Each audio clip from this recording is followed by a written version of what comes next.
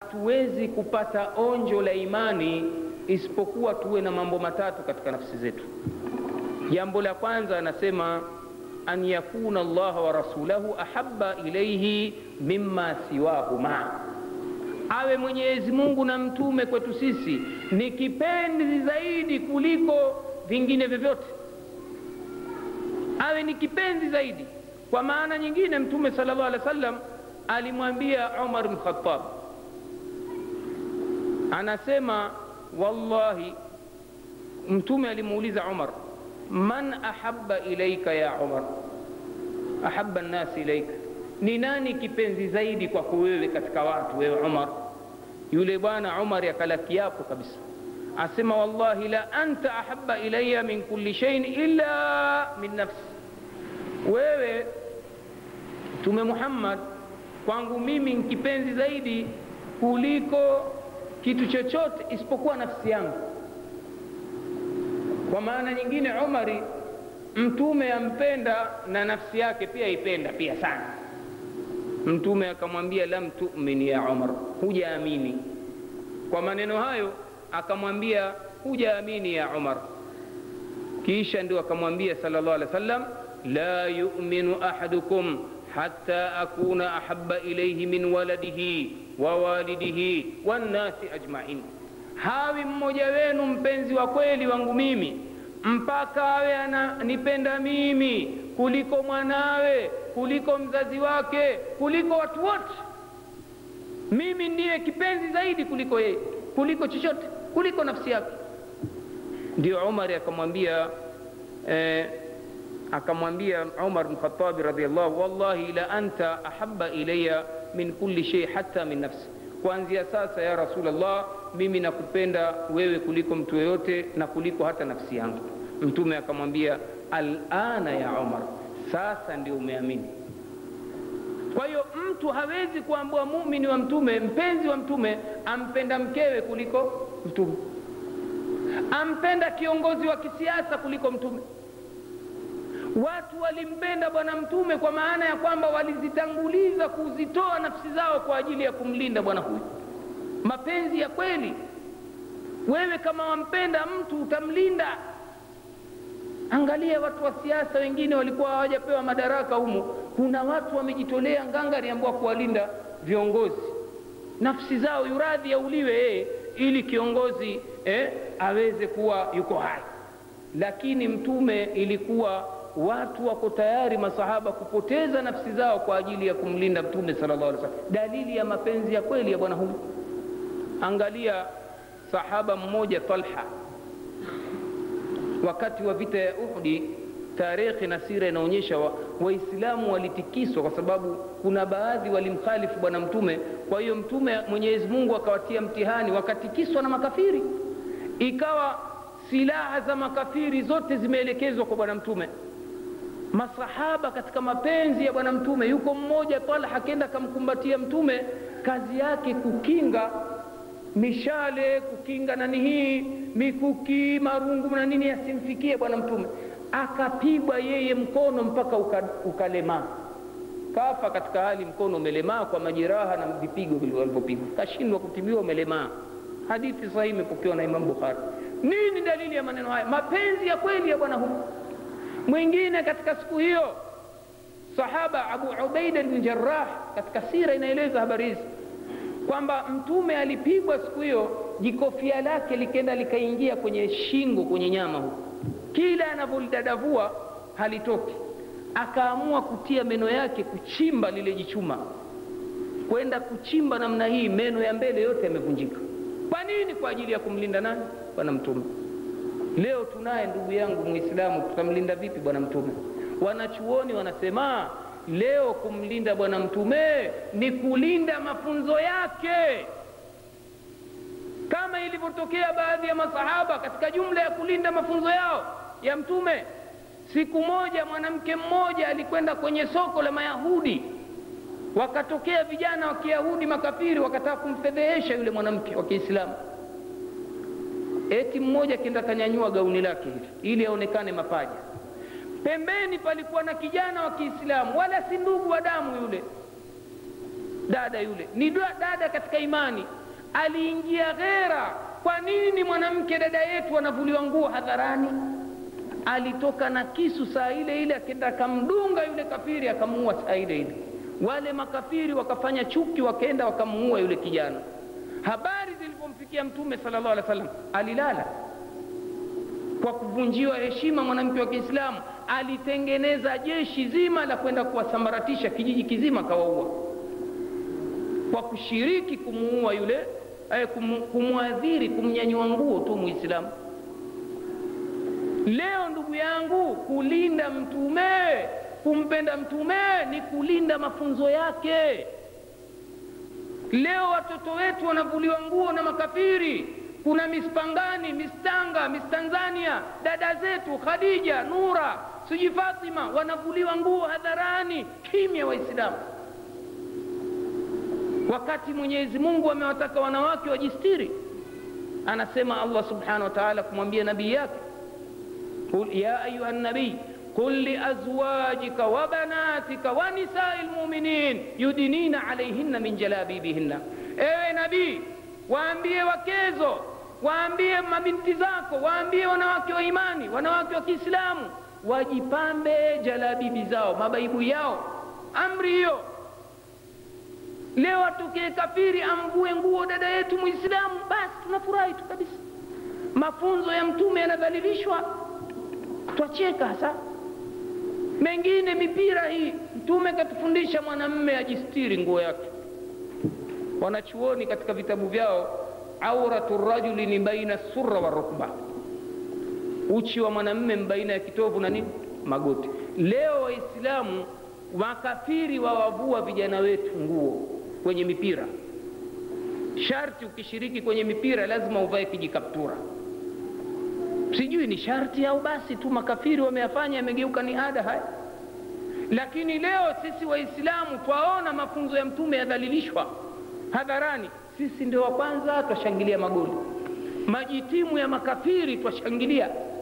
Angalau hata tungeonyesha ghera ya kiislamu kwamba timu ya waislamu yawashinda makafiri angalau tushangilie. Leo imekwenda waislamu tanzania zambia nchi ya makafiri wachezaji wake mia kwa mia makafiri. Wakicheza na watu wa moroko basi watanzania watashangilia wapi jama semeni ukweli. Sana. Kwa nini? Kwa misingi ya rangi ujirani mwema. Ujirani gani? Hakuna ujirani sampuli hizi. sisi sisi twaambiwa tuwapende wapenzi wa mwenyezi mungu na mtume. Alwalau walbara. Kama nkushangilia hapana budi basi waislamu wenzetu ndivyo inavyotakiwa ndugu zangu ma, kuyalinda mafunzo ya bwana mtume. Leo waislamu tumedhalilishwa na makafiri. Watoto wetu humo walishwa magurue kwenye mashule ambayo ya serikali. Kimya waislamu kimya. Qurani yadhalilishwa. Kuna wanawake kule nani hii wamepiga mziki wanasoma suratul fatiha na huku wapepeta wenyewe wasema alhamdulillahi rabbil alamin. Arrahmani rahim. Maliki yawmi wala dhalin amin. Huku watikisa mabogi. Hivi qurani yadhalilishwa namna hii. Mliwahi kusikia mufti yote kasema hamna kimya. Waja ansaru sunna kupinga bida ya maulidi dunia imesimama. Mambo ya bwana mtume ambayo ya kulindwa na kutetewa dunia inasimama dhidi ya watetezi hawa wanadhulumiwa mawahabi sijui nini vigego watu wanalinda dini ya bwana mtume. Leo mimi nitakupigwa hapa sakura. Leo leo mbichini nimezungumza kwenye msikiti wa watu wa sunna baada ya alfajiri juu ya umuhimu wa kuamrisha mema na kukataza maovu. Jirani kumbe wamefelewa wamelaza maiti leo siku ya tatu. Wameitoa dar es salaam wameiadhibu maiti. Mtume anasema asriu biljanaza na ndio maneno niliyasema haya. Kuwatanabahisha wamelala wanakoroma. Alfajiri tumeswali bado wakoroma wamelala mijiki na, mijidume ndani ya ndani na nani uwanja namna hii. Nawaambia waislamu niko ndani ya msikiti. Wachilia mbali sunna. Huyo shafi tunaambua twamfuata kakataza nanima matanga. Shafi ndani ya vitabu vyake kakataza kusafirisha maiti vipi sisi twamkhalifu mtume twamkhalifu shafi na twadai mashafi? Basi maneno yale yaliwaudhi sana. Twasikia kelele huko "Eh, fukuzeni mpigeni eh, wamekuja na mawe vijana wananiambia mi nilikuwa nkiwaona mlangoni huko. Wengine wameshindwa kuvumilia wakaingia ndani. Mungu akatujalia utulivu. Mzee mmoja akaja haya una nini? Oh bwana vipi?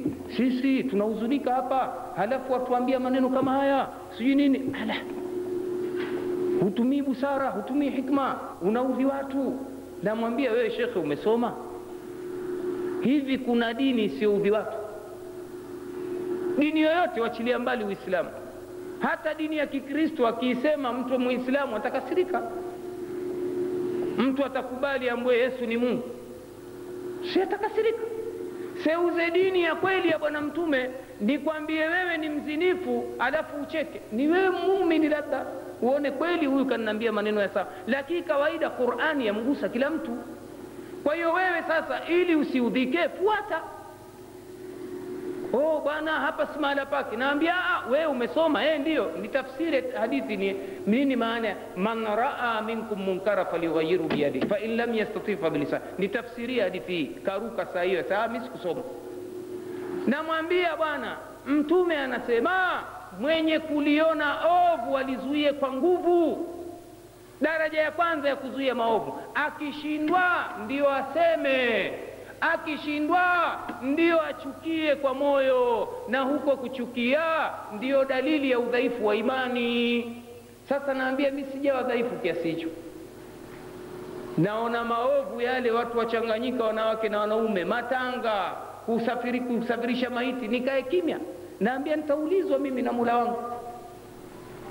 Kama mwanipiga haya nipigeni ni sunna ya mitume kupigwa. Mitume wamepigwa mtume muhammadi kapigwa kenda taifu kapigwa kenda kaswali lkaba kateremshiwa shehena ya mavya ya ngamia kenda nani hii vita vitani kavunjwa meno kenda taifu kavujishwa damu kapigwa mawe. Kwa hiyo twaomba sisi na nyie mtupige. Wameshindwa kwa sababu nguvu ya haki ni kubwa na mwenyezi mungu wameahidi kuwanusuru watu. Kwa hiyo ndugu zangu katika imani tujue mapenzi ya kweli ya bwana mtume sallallahu alaihi wasallam yanapatikana katika kulinda mafunzo. Ndio dalili ya kupenda. Hata wewe mkeo nyumbani utasema wampenda aje mwanamme ajemchukua na teksi hapo. Ah basi tutaonana baadaye wampenda kweli huyu?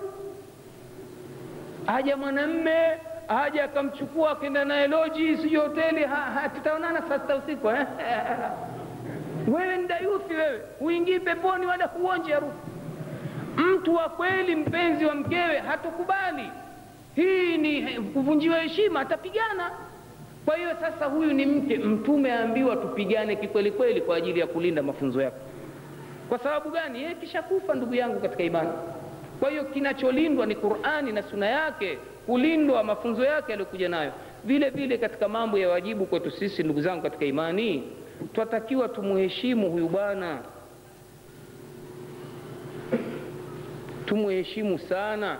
Mwenyezi mungu anasema lituminu billahi wa rasulihi watuaziruhu watuwakiruhu mpate kumwamini mwenyezi mungu na mtume wake na mpate kumtia nguvu na kumheshimu. Masahaba walimheshimu sana. Kiasi ambacho huyu bwana aliambiwa waislamu waliambiwa ya ayuha ladhina amanu la tarfau aswatakum fauka sauti nabii wala tajharu lahu bilqauli enyi waislamu enyi mlioamini mkikaa na bwana mtume mmoja wenu asinyanyue sauti kuliko sauti yake. Kwa hiyo wakikaa na mtume hivi wamejikunyata. Kwa nini? Kwa sababu ni bwana mkubwa mwenye kuheshimiwa huyu. Haifai kudharauliwa. Iwe yeye asema na yeye anyanyua sauti walimuheshimu sampuli wakikaa hutulia wanasema kama mtu aliyekuwa ka, kaja juu ya kichwa chake ndege hivi anakuwa katulia hivi. Vile vile katika jumla ya heshima walimpa bwana huyu. Angalia akitawadha tu. Yale mabaki ya maji yake wakiyapigania na wao wayanywa baraka. Riwaya nyingine sahihi alikuwa siku moja akifanya sulhu ya hudaibia basi alitema kohozi masahaba wakaenda kulipigania kuli kwa nini? Kwa sababu waliona kiwiliwili chake kina baraka. Mate yake yalikuwa na baraka bwana huyu. Kwa hiyo walimuheshimu sana. Hapa naleta tanbihi jambo, wasije wakajenga watu hoja. Haya maneno ni sahihi. Kwamba eti maadamu mtume kati ya watu watu wamechukua makohozi wakajipangusa basi wewe sharifu ukwaju ukawatilia watu mate ukasema na wewe nawe pia wamwiga babu yako. Kama wakuiga angeiga saidna ali radiallahu anhu. Ni sharifu pia naye. Hakuna hata siku moja alitemea watu mate akawaambia nyinyi baraka haya. Aa, hii ni baraka maalumu ya mtume. Alipokufa baraka ya kilili chake ikawa haipo iko kaburini. Kwa hiyo tanbihi kuna watu wajitokeza siku hizi vitoto vyatengenezwa vya na watu ambao mashehe sharifu hata pangani kaja hapa. Watu watengeneza jipipa la maji alafu wakatia makozi yake kijitoto. Ambwa sharifu naye. Watu wanywe ni dawa hiyo. Urongo hakuna dini namna hii. Hakuna koozi la shekhe wala la sharifu. Koozi ni la mtume sallallahu alaihi wasallam. Basi. Kwa hiyo watu walimuheshimu kiasi hiki bwana huyu kiasi ambacho angalia waliokuja katika wanachuoni ilikuwa imam maliki akiso, alisoma hadithi siku moja maneno ya bwana mtume anayasoma hivi akaja akagongwa na nge. Nge jamani ana sumu kali eh, inatia maradhi wanaita huma. Lakini hakuterereka imam malik. Ameendelea kusoma. Anaumia huku anasoma. Kwa nini? Ilikuwa aliona ni utovu wa adabu kukata hadithi kwa ajili ya ku watu walivyoheshimu maneno ya bwana huyu leo twasoma jamani waislamu pangani hapa wako wangapi? Hapa twazungumza maneno ya mungu na mtume. Hebu niambieni idadi yenu kulinganisha na waislamu waliokuwekwa hapa. Si dalili ya kumdharau mtume huku kudharau mtume sio kwamba enda mtia usukuo yuwapi au kumbeza hivi? Kumdharau mtume maneno yake yasemwa wewe ukayapuza ndio kumdharau kwa hiyo watu wajue maana ya kumpenda kweli bwana mtume ni jambo la wajibu kwetu sisi. Ndugu zangu katika imani mambo mengi ambayo sisi tunawajibika tuyafanye juu ya bwana huyu na tuitakidi. Inshallah baada ya swala tutaendelea kidogo halafu tutatoa ukumbi wa maswali juu ya mada hii. Na wale wenye maswali ambayo bado yanautata wanaweza wakaja kuuliza baadaye. Kuna vipengele ambavyo vimebaki na muda umekaribia wa kujiandaa na swala. Kwa hiyo nasema tutaendelea sehemu ya pili ambayo itakuwa ni fupi ya muhadhara, sehemu iliyobakia, halafu insha Allahu taala tutatoa ukumbi wa maswali. aqulu qawli hadha wa billahi tawfiq wa sallallahu ala sayyidina Muhammad walhamdulillahi rabbil alamin. Kusudi likija likitokea lolote baada ya kuja leo hii Sheikh Salim kuona hali kwamba umeingia ndani ya msikiti ambao miaka ya nyuma hukuthubutu kuingia. Nakumbuka miaka ya nyuma ulikuja ukatoa mawaidha pale na msikiti upo hapa, ni kwamba ilikuwa kuna hali ya kufanya na uadui. Kwa nini vijana wa Answari waje hapa? Lakini tumejenga mazingira ambayo hivi sasa ni mazuri zaidi, kwamba kila muislamu katika jamii yetu basi iko huru kuja kufanya ibada yake, ibada yake hapa na kutoa dawa kama hizi. Lakini sikitiko langu limekuja jitokeza kwa vijana au viongozi wa taasisi yetu Answari hapa mjini, ambao Sheikh Muhammad naye katika kamati na Ustadhi Huseni tuko pamoja katika kamati yetu, na wanajua tumeweka utaratibu gani. Tumeweka utaratibu kwamba yeyote anayekuja hapa msikitini, ikiwa ni mgeni anataka kuzungumza na waumini, basi tumesema huyu aruhusiwe kuzungumza na waumini. Lakini tukaona kuruhusiwa tu itakuwaje? Aruhusiwe na nani? Manake kamati ni watu wengi. Kuna imamu wa msikiti. Imamu wa msikiti lazima apewe taarifa kwamba amekuja mtu ataka kuzungumza, na tumesema kabisa yule mjaji mwenyewe anayetaka kuzungumza basi ndio aonane na imamu, waamkiane, wajuane, wafahamishane, watambuane, halafu imamu amweleze muhusika kwamba hapa bwana, taratibu zetu ni kadha wa kadha wa kadha. Hilo na nafikiri hili lina hikma kubwa ndani yake, maanake kwanza kuna kufahamiana na duati mbalimbali mbali kwa imamu lakini sasa nimegundua kwamba viongozi wa taasisi yetu ya Answari ya papangani wamekuwa wamejenga hali ambayo mimi kama ni imamu wa msikiti huu nimeiona ni dharau. Nikaona kwamba unaona tunaweza tukafanya vyovyote viwavyo. Tumeitisha mikutano mingi sana kuwarekebisha hali hii. Sasa nashukuru mpaka alipokuja bwana Mafuta, ustadhi Mafuta, waka waka wakamleta tukazungumza, tukaafikiana, tukafahamiana, akatoa dawa vizuri. Nikawambia basi jamani, mwendelee na taratibu hizi, tuendelee na utaratibu huu ndio mzuri.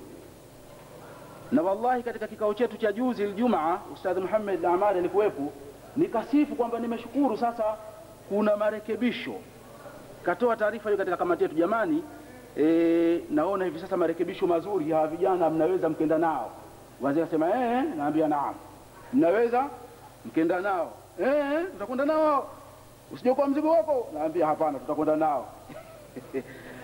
Sasa si kitu cha kufurahi sana shekhe, kwa sababu e, wanaoniuliza hivyo wanajua kwamba vijana hawa, yani ilivyojengeka, hawawezi kwenda na mtu ukaubeba mzigo huo ni wako mwenyewe na ukakufutia kufutia mwenyewe. Ndio itikadi ya majority katika ile komiti yetu. Sasa nimekuwa nikijitahidi kutumia busara zangu mbalimbali ili tuweze kwenda pamoja kama hivi. Mimi nikafurahi sana jana. Jana nilishinda Tanga kule, kurudi nikapata taarifa ya ujio wako Sheikh, nikaona alhamdulillah. Yule bwana alikuja kuambia bwana Adan upwa, akakwambia bwana, zaidi ya maneno hayo unionaambia, lakini shekhe akija basi tuonane, tuzungumze, tufahamiane, nimweleze taratibu zetu hapa nikashukuru kanaambia basi ha, inshallah akirudi, manake leo analala ale, msinilaumu sana mkaona huyu bwana katushitaki la Sheikh Muhammad, sije kuona kashtaki. Ni vizuri kumwambia, manake mwanachuoni anajua na atakiwa aturekebishe. Nia ni kwamba tukae kwa pamoja, na kawaida anapokuja alimu yote kuzungumza hapa, mimi mwenyewe nipo, tunakuwa pamoja, na mimi ndio naifanya first introduction kwa yake, lakini kwa mambo haya mimi leo nikashindwa, hata sikuvaa zile dressing zangu za kawaida, wenyewe wananifahamu kama mambo ya kihunihuni. Sasa haya yule alaihi asri, nikatoka nketa zangu. Unisamehe sana kwa hilo Shekh, naomba unisamehe sana kwa hilo. Ni vizuri tukaheshimiana kama ambavyo mimi nawaheshimu, kwa sababu mimi nawaheshimu wenzangu. Lolote na lile katokea, tunakaa tukasikilizana. Lakini kama kuna itikadi juu ya upotofu wangu mimi, naomba hiyo muiangalie sana, mnakiwezekana upotofu wangu mimi basi ukawapotoza wote.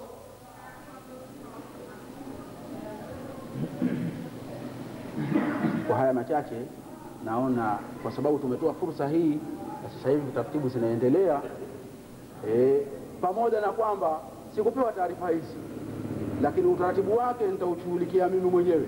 Naomba ufahamu hivi, utaratibu wake nitaushughulikia mimi mwenyewe. Wazee wetu ni hao, tunao wanakaa wanaangalia, na nimewaomba wafike wasikilize.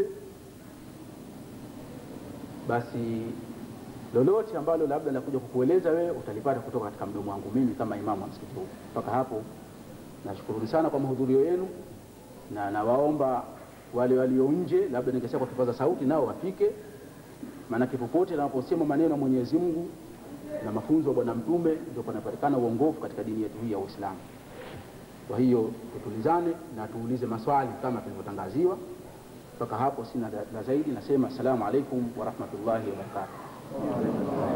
Jumla ya maana ya kumheshimu, tumeona jinsi masahaba wa Mtume sallallahu alaihi wasallam walivyoagiziwa na Mwenyezi Mungu subhanahu wa taala, wa pindipo wakikaa naye basi wamsikilize kwa utuvu, kwa heshima na nidhamu, na pindi wakizungumza naye basi wazungumze katika sauti ndogo kuliko yake, katika namna ya kumheshimu Mtume sallallahu wa sallam Vile vile Mwenyezi Mungu subhanahu wa taala akawaambia, la taj'alu duaa ar-rasuli bainikum ka duai ba'dikum ba'dha, msijalie kumwita Mtume sallallahu alaihi wasallam baina yenu kama mnavyoitana wenyewe kwa wenyewe. Wenyewe kwa wenyewe ilikuwa masahaba wakiitana kwa kukatana majina. Ya umar ya ali ya uthman mtume akawakataza. Msimwambie mtume mkimwita ya muhammad mumwite kwa cheo chake katika namna ya kumheshimu bwana mtume ni kumwita mtume kwa cheo chake. Ya rasulllah ya rasulllah ewe mjumbe wa mwenyezi mungu. Kwa hiyo mwenyezi mungu aliwaelekeza masahaba namna ambavyo wanatakiwa wamheshimu bwana huyu. Na tuliona vile vile mifano ya jinsi mabwana wakubwa hawa walivyofanya juhudi ya kuonyesha heshima hata mbele ya makafiri siku ile tumesema ilipotokea sulhu ya hudaibia wakati mtume alipokuwa anafanya sulhu alitema jikohozi ikawa masahaba wamegombania kulikamata lile kohozi na kujipangusa katika kiwiliwili kuonyesha jinsi walivyomheshimu mpaka fadhalati zake. Ila tu tulitoa tanbihi ndugu zangu hizi zinaitwa ni khasia za mtume sallallahu alaihi wasallam mambo maalumu ya bwana mtume hawezi kuja mtu leo akatutilia makohozi kwenye chai kwenye maji kwenye nini akasema eti makohozi yake na baraka. Tutamwambia atupe dalili. Kwa nini? Kwa sababu mtume alikuwa na watu wa nyumba yake wa karibu kama saidna ali radiallahu anhu. Alikuwa ni mtu wa mtume wa karibu ni katika akriba lakini haijathibiti hata siku moja bwana huyu kwamba aliwapaka watu makohozi yake. Kwa nini? Kwa sababu hakuna dalili ya baraka ya mati ya, ya saidna ali wala huyu ambaye anaitwa ni imamu huseini pia hajafanya hivyo haijathibiti hali namna hii. Na masahaba wakubwa kama vile abubakar na umar na uthmani na wengineo hawakuwahi kufanya mambo haya. Kwa hiyo hii ilikuwa ni dalili maalumu ya mtume salllahu alaihi wasallam.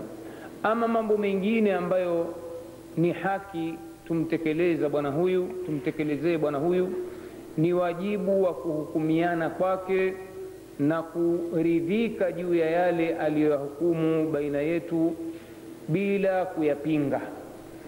Yaani tumjalie mtume kuwa ni hakimu wetu juu ya yale ambayo tunazozana na vile vile yale aliyotuhukumu baina yetu turidhike nayo.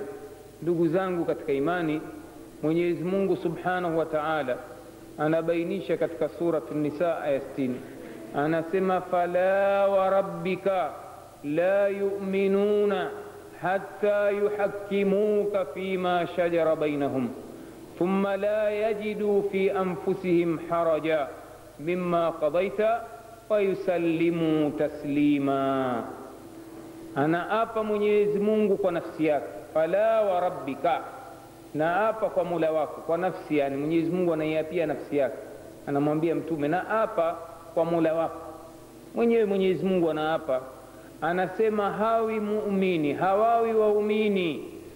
Mpaka yani hawa wanaojiita waumini hawawi ni waumini.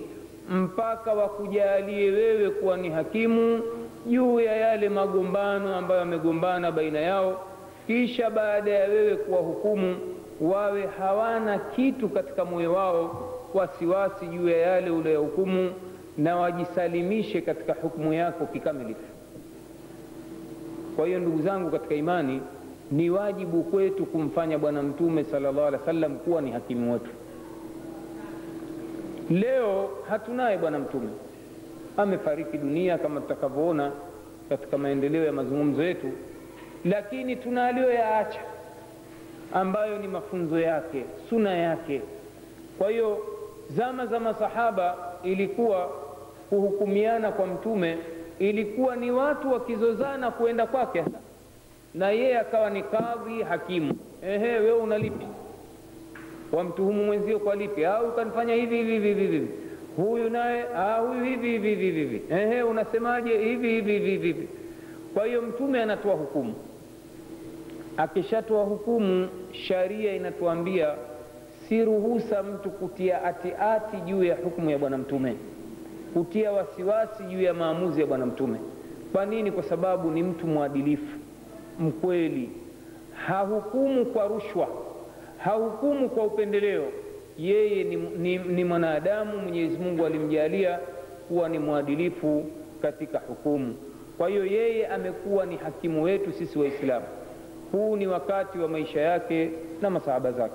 Ama kwetu sisi wanachuoni wetu wanatueleza katika juu ya hukumu ya bwana mtume kutia wasiwasi juu ya maamuzi ya bwana mtume. Kwa nini? Kwa sababu ni mtu mwadilifu mkweli. Hahukumu kwa rushwa hahukumu kwa upendeleo. Yeye ni, ni, ni mwanadamu mwenyezi mungu alimjalia kuwa ni mwadilifu katika hukumu. Kwa hiyo yeye amekuwa ni hakimu wetu sisi waislamu. Huu ni wakati wa maisha yake na masahaba zake. Ama kwetu sisi wanachuoni wetu wanatueleza katika kutafsiri aya hii kumjalia mtume kuwa ni hakimu ni pale tunapozozana juu ya jambo lolote tumjalie yeye aliyokusha yasema ndiyo hukmu kwetu sisi. Na haya yanaendelea kupata nguvu katika kauli nyingine ya mwenyezi mungu ambayo tushaitaja katika mhadhara huu.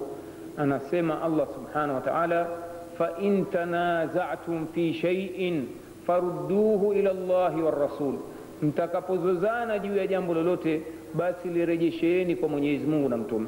Kulirejesha kwa mwenyezi mungu na mtume ilikuwa watu wakienda kwa bwana mtume wakizozana wanaulizana hukmu kwamba ya rasulllah huyu asema hivi huyu asema hivi. Ni lipi la sawa? Mwenyezi mungu ima kumletea wahi kumpa jawabu au yeye mwenyewe mtume kwa lile aliloliona sawa analieleza na tunachotakiwa ndugu zangu ni kujisalimisha juu ya hukumu yake kikamilifu ndugu zangu katika imani kulikuwa na tukio zama za mtume salllah alih wa sallam kwamba bwana mmoja ambaye riwaya zinaonyesha kwamba alikuwa mnafiki. Kweli matendo haya aliyoyafanya ni ya unafiki. Muislamu wa kweli mwenye kusikiliza maneno haya mwenyezi mungu hawezi kufanya hivyo. Aligombana na yahudi ambaye ni kafiri. Halafu yule yahudi akatoa pendekezo kwamba twende tukasuluhishwe tukahukumiwe kwa mtume. Angalia yahudi kafiri. Yule anayejidai mwislamu akasema a tusiende kwa mtume. Twende kwa yahudi fulani. Kama sijasahau nafikiri alikuwa ni kabu bn ashraf twende kwa yahudi tukahukumiane. maneno haya yanaonyesha nini? Kwamba haridhiki kuhukumiwa na mtume. Wakazozana pale mwisho yayote wakasema ah, basi iliyokuwa bora twende kwa omar wote wawili.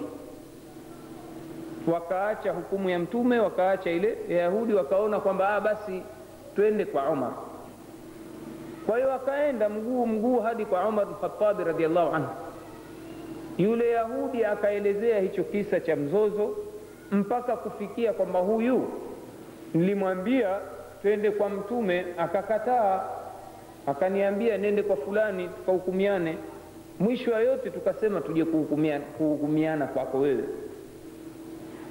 Kweli wewe ulisema maneno haya? Amuuliza yule anayejidai muislamu. Kweli ulisema hutaki kuhukumiwa na mtume? Ee akawambia haya nsubiri kaingia ndani umar mkhatabi katoa panga lake hakuja kuzungumza naye tena yule bwana zaidi ya kumkata kichwa katilia mbali kichwa.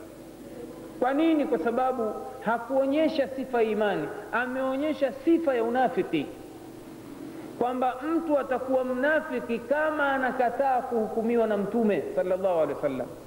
ndio pale ninaposema jamani mtume kafariki hayupo leo lakini qurani na sunna yake ipo. Tukizozana juu ya jambo tulirejesheni kwake. Na mtu akikataa basi huyu ni mwislamu jina ni mnafiki.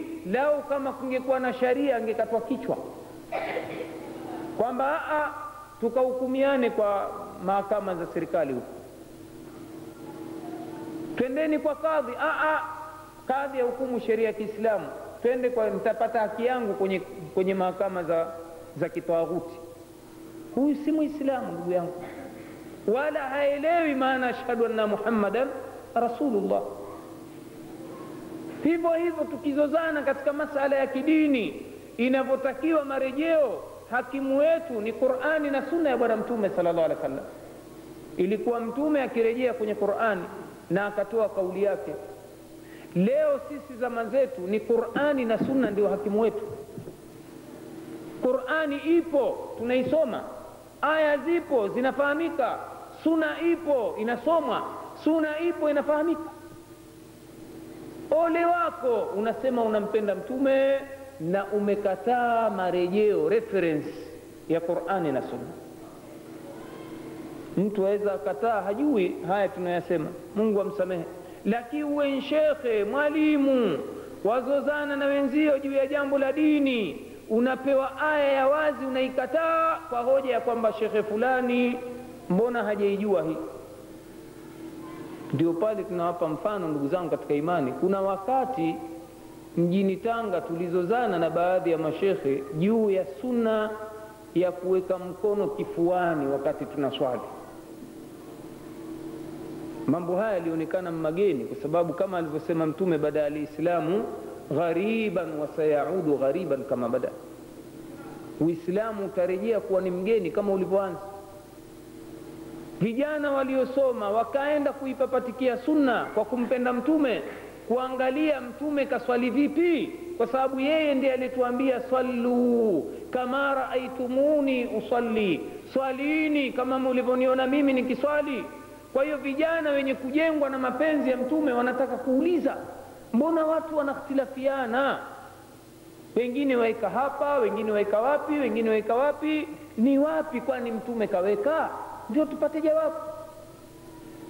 Wengine wasema tuweke kitovuni wengine tuweke hapa juu ya kitovu wengine chini kine nani wengine kwenye kifua wengine. Taibu wapi? Wakenda wakagundua kwamba maneno yamesemwa karne kumi na nne ni hadithi ya mtume imepokewa na sahaba mtukufu wail bni hujur anasema raaitu rasula llahi sallallahu alayhi wasallam eh, sallallahu alayhi wasallam yadaa yadahu lyumna ala lyusra ala sadrihi sunna hii ikatambulishwa kwa waislamu. Kwa njia ya kauli na matendo. Kwa hiyo vijana walioipenda sunna na mapenzi ya mtume wakaona sasa wamfuate bwana mtume wapate radhi za mwenyezi mungu subhanahu wa taala. Wameweka mikono kifuani. Huu nawapa mfano tu katika masala ya mizozo. Shekhe mmoja hatutaji jina hapa simahala pa kutaja majina. Alipoona hilo eti kwake yeye likawa nkiroja. Na wafuasi wake wakaliona nkiroja mno. Sasa ili awaridhishe watu wake kwamba yeye alichofanya nsahihi siku zote kuweka chini ya kitovu au kwenye kitovu akaanza kutunga urongo. Kwamba ansaru suna waweka mikono kifuani kwa sababu tumboni kuna mavi. Maneno ya urongo. Mwanachuoni kusema maneno ya urongo kwenye mala hadharani. Nani alisema maneno haya? Kwamba eti watu wanaweka mikono kifuani kwa sababu tumboni kuna mavi. Hakuna lakini kutaka kuchuma nyuso za watu radhi za wanadamu na kukataa radhi ya mwenyezi mungu subhanahu wa taala. Kwa hiyo mtu anaikataa sunna hivi hivi kwa sababu ni jambo eti kwake yeye alikuwa halijui. Matokeo yake wafuasi wamekuja wanawacheka wenye kufanya hivi na kuwafanyia stizai. Angalia wale waweka mikono kifuani kisa tumboni kuna mavi dini mpya ile sijui nini. Isitoshe maneno mengine mabaya zaidi kayasema ya uchache wa elimu. Mwenye elimu hawezi kusema maneno kama haya. Anasema nini bwana? Anwaili anwaili. Anwaili gani huyo? Hivi imam shafi hakumuona huyo? yaani hadithi mpaka ionekane na imam shafi ndio itakuwa ni hadithi ya mtume itakuwa sasa tumemjaalia shafi kuwa ni mtume. Ndio marejeo ya mwanzo. Kwa sababu shafi yeye mwenyewe anasema itakaposii hadithi ndio madhehebu yangu. Ikiwa kauli yangu inaenda kinyume na yale ambayo ya, ya mtume basi yangu itupeni ukutani. Kwa nini hasa maneno haya? Kwa sababu yeye mwanadamu kuna maneno atakuwa kayasikia ya mtume kajielimisha kuna mengine hakuyasikia hawi masahaba wa mtume ambao kuna hadithi hawakuzisikia. Saidna abubakari sidiki radiallahu anhu kaulizwa na mwanamke mirathi akiwa ni nyanya bibi nataka haki yangu mbona sipewi? Abubakar anaambia mimi sijui chochote juu ya mirathi ya mtu mzima yaani jadda nyanya au bibi. Mama kamng'ang'ania bibi yule nataka mirathi yangu ilibidi abubakari kwa kujua kwamba yeye hakubeba kila kitu alichokitoa bwana mtume kawaita vijana wa masahaba.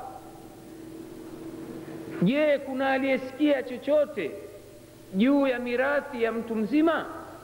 Jadda yani nyanya.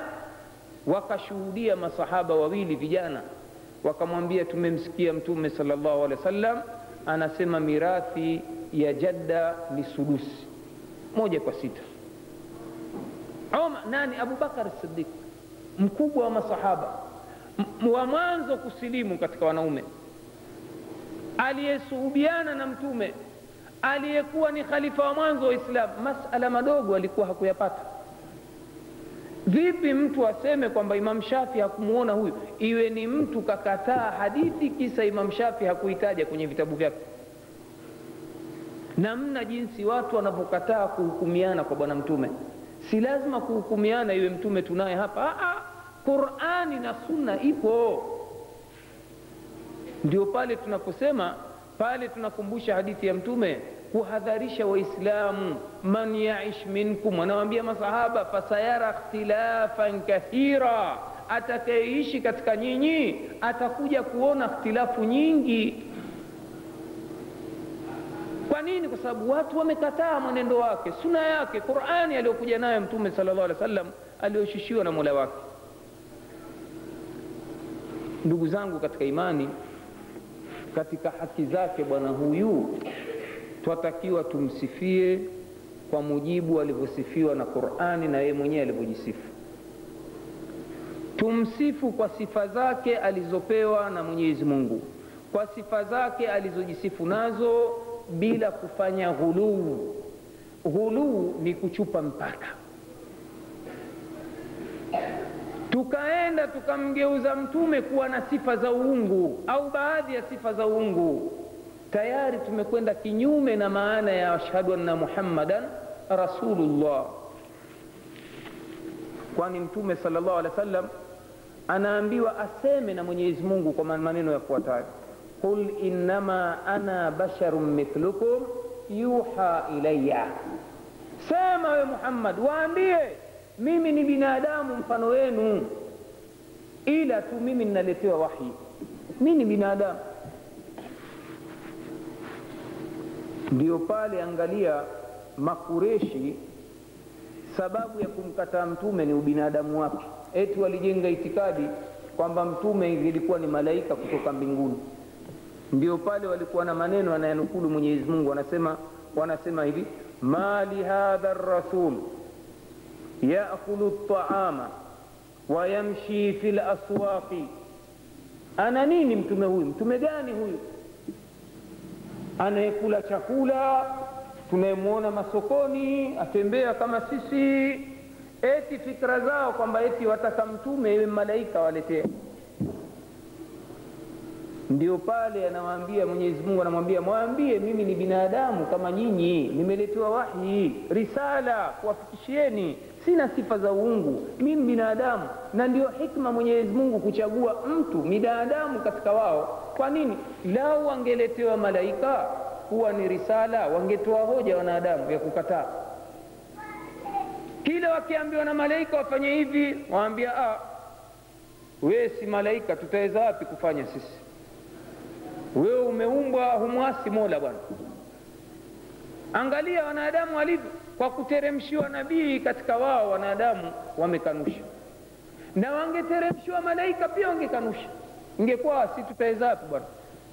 Fungeni malaika ambia fungeni ambia nyinyi hamli sasa nyinyi si tufunge. Maanake malaika hali. Sisi mtatuambiaje sisi tufunge wakati nyie mbona hamfungi lakini mtume anayehisi njaa kama sisi. Anafunga akahisi njaa kama sisi. Hupata tabu kama tunavyopata tabu sisi.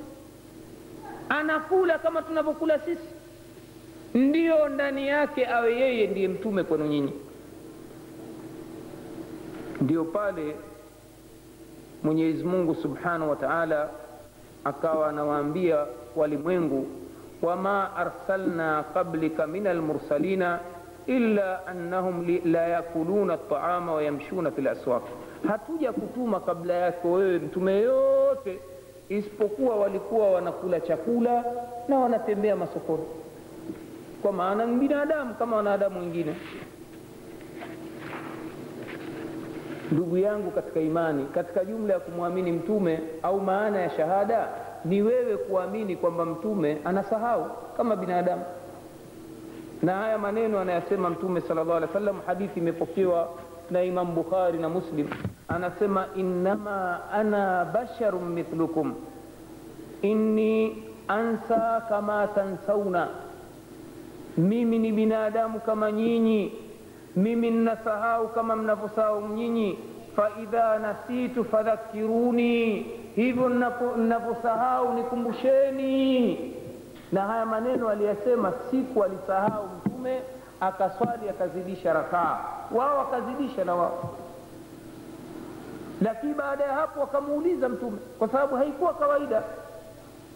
Je imezidishwa leo swala rakaa? Ndio akawaambia maneno jama ee mimi mbinadamu kama nyinyi mnasahau kama mnavyosahau nyinyi. Kwa hiyo pindipo mnaposahau, nikumbusheni. Ni wewe muislamu kuitakidi kwamba mtume naye asahau ukijenga itikadi kwamba mtume hasahau basi wewe umempa sifa isiyokuwa yake. Ndugu zangu katika imani mtume wetu muhammad sallallahu alehi wasallam watu leo wamechupa mpaka katika kumtukuza bwana huyu. Wamempa sifa ambazo hastahiki kupewa bwana huyu. Wamempa sifa za kiungu. Kuna wengine wanaitakidi kabisa kwamba mtume muhammad salllah alih wa sallam ni sehemu ya nuru ya mungu aliimega kaa kamuumba yeye. Wanasema hivyo wakati mungu ndani ya qurani aya nyingi anasema